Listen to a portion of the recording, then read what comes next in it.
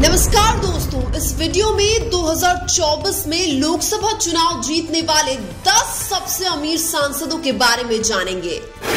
तो इस लिस्ट में नंबर 10 पर आती हैं डॉक्टर प्रभा मल्लिकार्जुन। इन्होंने 2024 में कांग्रेस के टिकट पर कर्नाटक की दावनगेरे लोकसभा सीट से चुनाव लड़ा था, जिनमें इनको लगभग छह लाख तैतीस हज़ार वोट मिले थे। इनके निकटतम प्रतिद्वंदी बीजेपी की गायत्री सिद्धेश्वरा को लगभग छह लाख सात हज़ार वोट मिले थे। यानी कि इन्होंने 2024 का लोकसभा चुनाव लगभग छब्बीस हज़ार वोटों से जीता है। कांग्रेस की प्रभा मल्लिकार्जुन 241 करोड़ रुपए की कुल संपत्ति के साथ अमीर सांसदों की लिस्ट में दसवें नंबर पर आती है।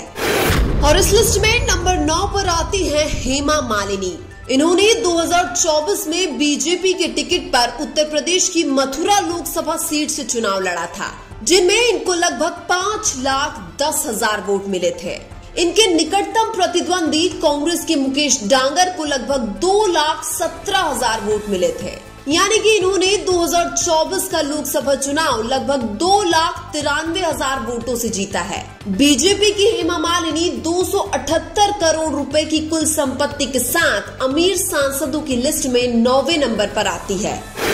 और इस लिस्ट में नंबर आठ पर आते हैं श्री भरत मुथुकुमल्ली। इन्होंने 2024 में टीडीपी के टिकट पर आंध्र प्रदेश की विशाखापट्टनम लोकसभा सीट से चुनाव लड़ा था। जिनमें इनको लगभग नौ लाख सात हज़ार वोट मिले थे। इनके निकटतम प्रतिद्वंदी वाईएसआरसीपी की झांसी लक्ष्मी को लगभग चार लाख तीन हज़ार वोट मिले थे। यानी कि इन्होंने 2024 का लोकसभा चुनाव लगभग चार लाख तीन हज़ार वोटों से जीता है। टीडीपी के श्री भरत मुथुकुमल्ली दो करोड़ रुपए की कुल संपत्ति के साथ अमीर सांसदों की लिस्ट में आठवें नंबर पर आते हैं। और इस लिस्ट में नंबर सात पर आते हैं छत्रपति शाहू शाह जी इन्होंने 2024 में कांग्रेस के टिकट पर महाराष्ट्र की कोहलापुर लोकसभा सीट से चुनाव लड़ा था, जिनमें इनको लगभग सात लाख चौपन हज़ार वोट मिले थे। इनके निकटतम प्रतिद्वंदी शिंदे गुट की शिवसेना के संजय मांडलिक को लगभग पाँच लाख निन्यानवे हज़ार वोट मिले थे। यानी कि इन्होंने 2024 का लोकसभा चुनाव लगभग एक लाख पचपन हज़ार वोटों से जीता है। कांग्रेस के छत्रपति शाहू शाहजी 342 करोड़ रुपए की कुल संपत्ति के साथ अमीर सांसदों की लिस्ट में सातवें नंबर पर आते हैं। और इस लिस्ट में नंबर छह पर आते हैं ज्योतिरादित्य सिंधिया। इन्होंने 2024 में बीजेपी के टिकट पर मध्य प्रदेश की गुना लोकसभा सीट से चुनाव लड़ा था। जिनमें इनको लगभग नौ लाख तेईस हज़ार वोट मिले थे। इनके निकटतम प्रतिद्वंदी कांग्रेस के यादवेंद्र राव को लगभग तीन लाख बयासी हज़ार वोट मिले थे। यानी कि इन्होंने 2024 का लोकसभा चुनाव लगभग पाँच लाख चालीस हज़ार वोटों से जीता है।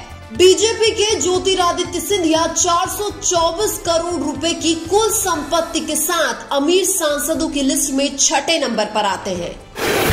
और इस लिस्ट में नंबर पाँच पर आते हैं सीएम रमेश। इन्होंने 2024 में बीजेपी के टिकट पर आंध्र प्रदेश की अनकापल्ली लोकसभा सीट से चुनाव लड़ा था, जिनमें इनको लगभग सात लाख बासठ हज़ार वोट मिले थे। इनके निकटतम प्रतिद्वंदी वाईएसआरसीपी के बुद्धि मुतियाला नायडू को लगभग चार लाख पैंसठ हज़ार वोट मिले थे। यानी कि इन्होंने 2024 का लोकसभा चुनाव लगभग पाँच लाख छियानवे हज़ार वोटों से जीता है। बीजेपी के सीएम रमेश, चार करोड़ रुपए की कुल संपत्ति के साथ अमीर सांसदों की लिस्ट में पाँचवें नंबर पर आते हैं। और इस लिस्ट में नंबर चार पर आते हैं प्रभाकर रेड्डी वेमी रेड्डी। इन्होंने 2024 में टीडीपी के टिकट पर आंध्र प्रदेश की नेल्लोर लोकसभा सीट से चुनाव लड़ा था, जिनमें इनको लगभग सात लाख छाछठ हज़ार वोट मिले थे। इनके निकटतम प्रतिद्वंदी वाईएसआरसीपी के वेनुम्बाका रेड्डी को लगभग पाँच लाख बीस हज़ार वोट मिले थे। यानी कि इन्होंने 2024 का लोकसभा चुनाव लगभग दो लाख छियालीस हज़ार वोटों से जीता है। टीडीपी के प्रभाकर रेड्डी वेमी रेड्डी 716 करोड़ रुपए की कुल संपत्ति के साथ अमीर सांसदों की लिस्ट में चौथे नंबर पर आते हैं। और इस लिस्ट में नंबर तीन पर आते हैं नवीन जिंदल। इन्होंने 2024 में बीजेपी के टिकट पर हरियाणा की कुरुक्षेत्र लोकसभा सीट से चुनाव लड़ा था, जिनमें इनको लगभग पाँच लाख बयालीस हज़ार वोट मिले थे। इनके निकटतम प्रतिद्वंदी आम आदमी पार्टी के सुशील गुप्ता को लगभग पाँच लाख तेरह हज़ार वोट मिले थे। यानी कि इन्होंने 2024 का लोकसभा चुनाव लगभग उनतीस हज़ार वोटों से जीता है। बीजेपी की नवीन जिंदल 1241 करोड़ रुपए की कुल संपत्ति के साथ अमीर सांसदों की लिस्ट में तीसरे नंबर पर आते हैं। और इस लिस्ट में नंबर दो पर आते हैं कोंडा विश्वेश्वर रेड्डी। इन्होंने 2024 में बीजेपी के टिकट पर तेलंगाना की चेवेल्ला लोकसभा सीट से चुनाव लड़ा था, जिनमें इनको लगभग आठ लाख नौ हज़ार वोट मिले थे। इनके निकटतम प्रतिद्वंदी कांग्रेस के गद्दाम रणजीत रेड्डी को लगभग छह लाख छत्तीस हज़ार वोट मिले थे। यानी कि इन्होंने 2024 का लोकसभा चुनाव एक लाख बहत्तर हज़ार वोटों से जीता है। बीजेपी के कोंडा विश्वेश्वर रेड्डी चार हज़ार पाँच सौ अड़सठ करोड़ रुपए की कुल संपत्ति के साथ अमीर सांसदों की लिस्ट में दूसरे नंबर पर आते हैं। और इस लिस्ट में नंबर एक पर आते हैं चंद्रशेखर पेमासानी। इन्होंने 2024 में टीडीपी के टिकट पर आंध्र प्रदेश की गुंटूर लोकसभा सीट से चुनाव लड़ा था, जिनमें इनको लगभग आठ लाख चौसठ हज़ार वोट मिले थे। इनके निकटतम प्रतिद्वंदी वाईएसआरसीपी के किलारी वेंकट को लगभग पाँच लाख बीस हज़ार वोट मिले थे। यानी कि इन्होंने 2024 का लोकसभा चुनाव लगभग तीन लाख चवालीस हज़ार वोटों से जीता है। टीडीपी के चंद्रशेखर पेमासानी पाँच हज़ार सात सौ पाँच करोड़ रुपए की कुल संपत्ति के साथ अमीर सांसदों की लिस्ट में नंबर एक पर आते हैं। लेकिन आपके राज्य का सबसे अमीर सांसद कौन है? कमेंट करके ज़रूर बताएँ।